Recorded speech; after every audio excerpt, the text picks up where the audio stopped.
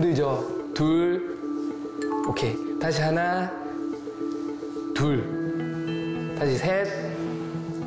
다시 넷. 한 번 쉬세요. 힘들죠? 이쪽 보고 800에서 옆으로 누워보세요. 하나, 둘, 셋, 넷, 다섯, 아이고 여섯, 일곱. 관절염 때문에 너무 아팠던 거를 인공관절 수술을 해가지고 여기서 지금 재활 치료를 하고 있는데 엄청 힘이 드네요. 지독한 관절염으로 6년째 고생하다 참다 못해 지난해 9월 인공관절 수술을 받은 손미숙 씨. 통증이 말로 할 수가 없어요. 야, 안 웃는 건 일도 아니더라. 이런 식으로 말을 할 정도로 아픈 거라, 이게 밤에. 다리를 이렇게 옮기면 막 그냥 나도 모르게 어, 소리가 날 정도로 아파요. 오죽하면 이렇게, 이렇게 잘라내고 다른 거를 갖다 엮겠습니까? 힘들어요, 진짜. 끝없는 통증으로 수차례 치료를 받았지만 결국 관절염 치료의 마지막 단계까지 가고 말았습니다. 그럼 미숙 씨에게 최근 또 다른 고민이 하나 더 생겼다는데요. 지금 여기도 다시 이렇게 붓고 많이 붓고 지금 아파서 열감이 있고 진짜 수술해야 되는 거 아닌가 하고 걱정돼가지고 검사하러 왔죠. 왼쪽 무릎 수술의 통증이 아물기도 전에 오른쪽 무릎마저 새로운 통증이 느껴지기 시작한 것입니다.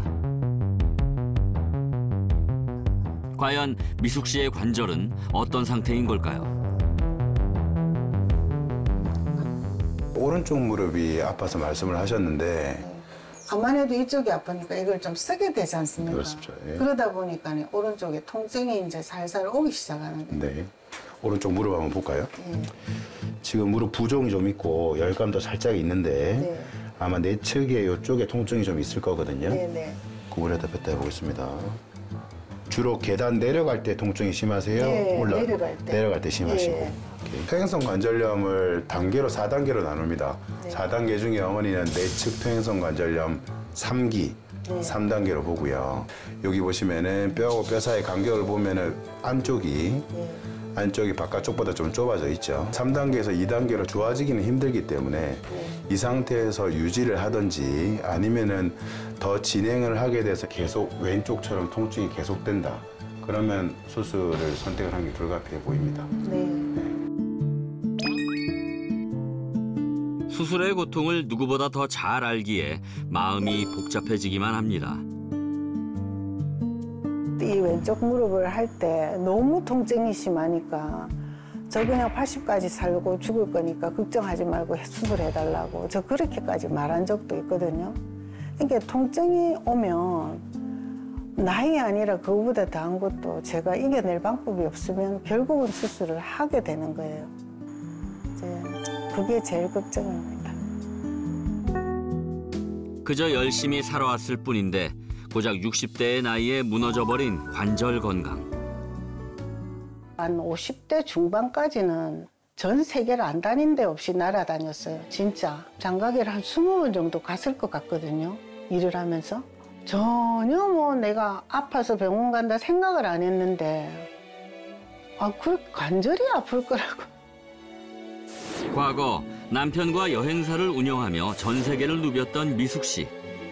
미리 관절 건강을 돌보지 않은 지난 날이 후회스럽습니다. 벚꽃이 필 때면 어김없이 여행을 떠났던 미숙 씨. 망가져버린 관절로 인해 여행은 고사하고 꽃나들이조차 쉽지 않습니다.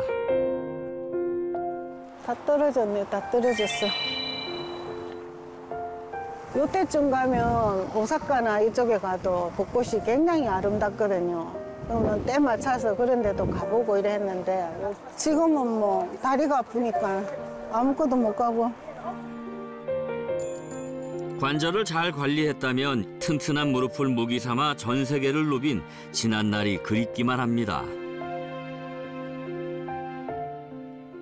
그날 오후 집에 돌아온 미숙 씨.